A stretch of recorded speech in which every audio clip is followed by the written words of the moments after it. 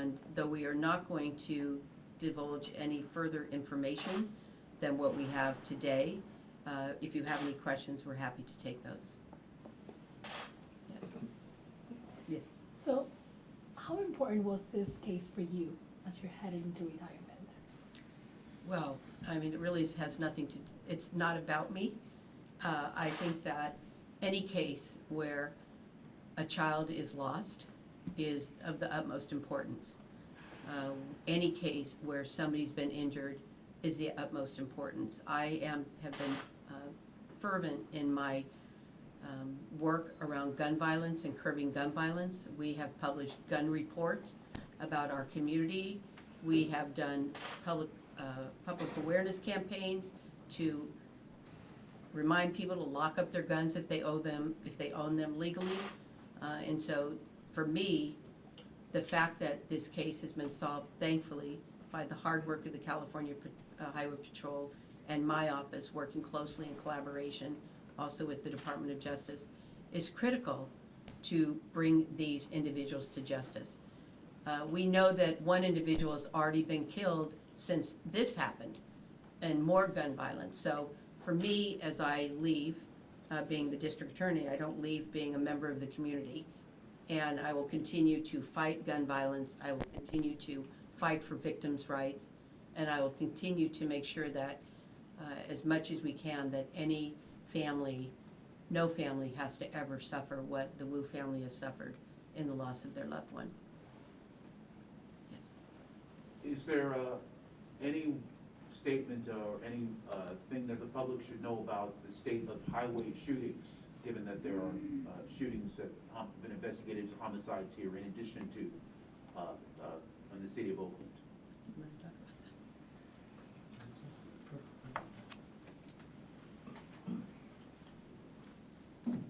I think what you see uh, on the, on the highways is reflective of what you see in society in general.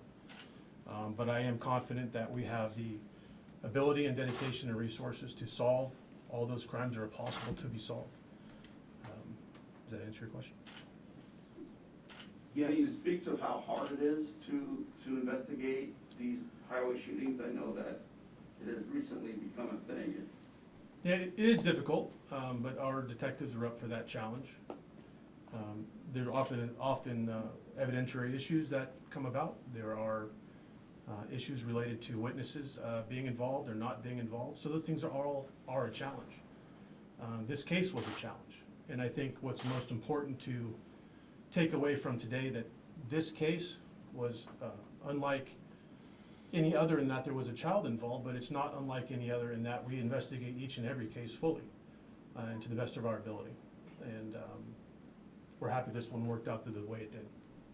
I know you guys have been putting in uh, cameras or started a campaign with that. Were there any cameras at this uh, area?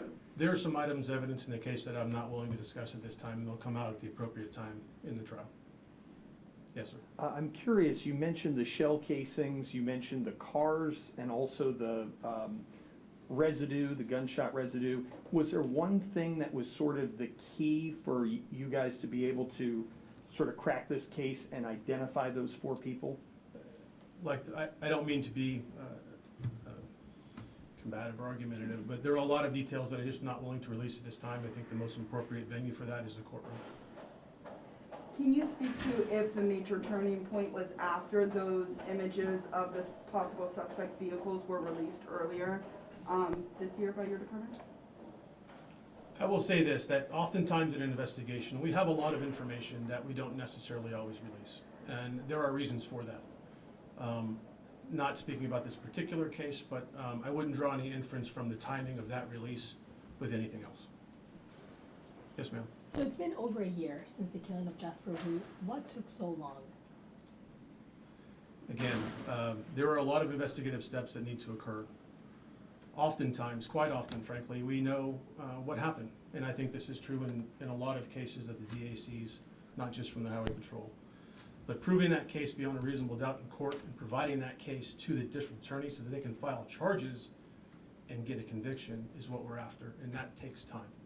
And I think Um, It's, it's a testament to the hard work that our detectives did, that it didn't matter if it was 13 months or 13 years.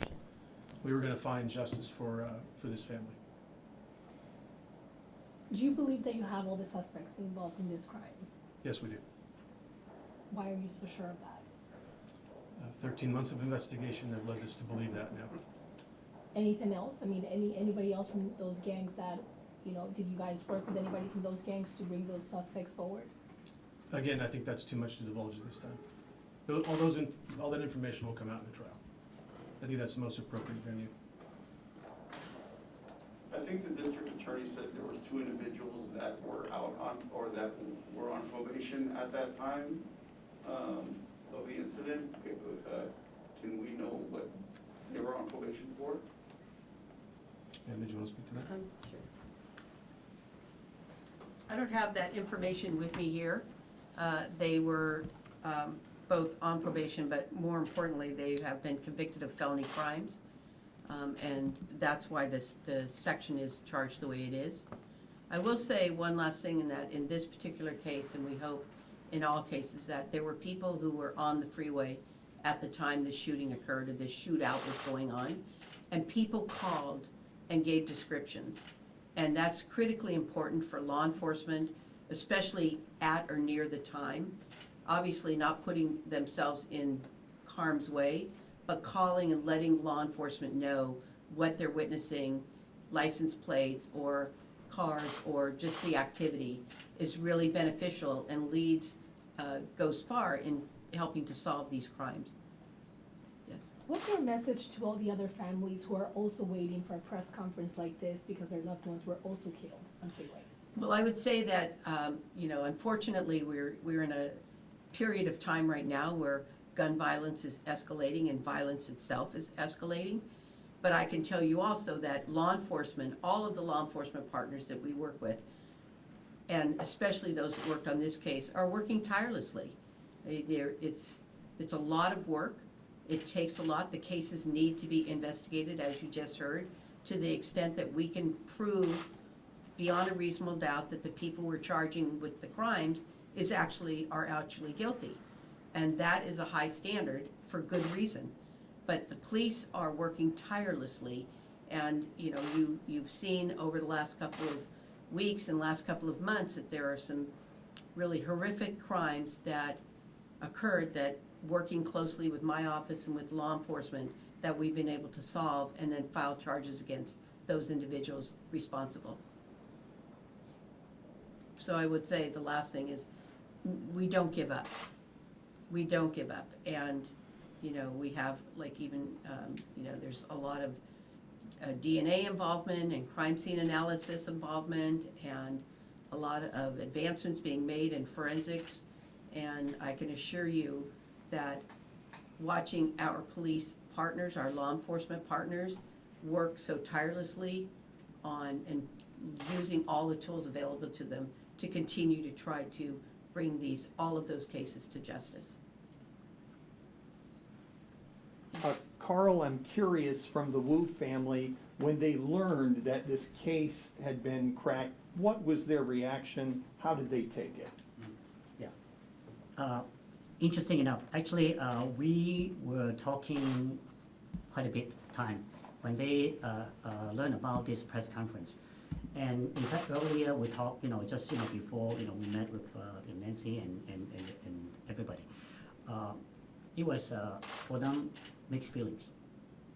First things first, they were very happy and excited to see that there's a press conference talking about their case. And, but at the same time, they feel that they are bringing back the memory of day one of what happened on the freeway. So uh, that's exactly, you know, uh, they are, they are calling it, it's kind of mixed feelings. But they also want to share with everybody. At, at some point, uh, when this happened, they would never believe, never believe that there will be a day they are having this press conference. And they also want to uh, actually share with me that uh, during the entire ordeal, all these investigations, um, the uh, it, you know the investigators you know from Highway Patrol uh, been keeping up the information with the family, and But of course, there's certain information they, they could not get, but they're saying that they're working on it. And at some point, they thought that it's about time to give up. But then when they hear about this, they were so, so excited, again, excited, happy, but also very sad. So I know that the family had, had a fair share of crying again. But, uh, but one thing they would love to see is to bring closure to the family. Oh, I almost forgot that they actually I want to say. There were so many people have given them the support, uh, GoFundMe and the entire community and pretty much everyone. It is not about that, just say, you know, I, I, you know, I, I'm very sorry about you. They wrote many messages, they send cards, they send letters, they send, you know, information and give them, uh, you know, the family the biggest support, uh, that they, they can receive. So with that, I just wanna make sure that for those, they, they are, uh, you know, really in giving the big support for the family, again, they wanna say thank you. I will um, add that when there's a, when there's a crime, a violent crime, then my office uh, provides support initially and assist with funeral costs and things like that. And the district attorney's office victim witness division will stay in support of Jasper's family, letting him know when the court dates, and, and for all victims of crime, letting him know when the court, next court date or other events that are happening, um, so that if the family chooses to be there, they are able to be there with support.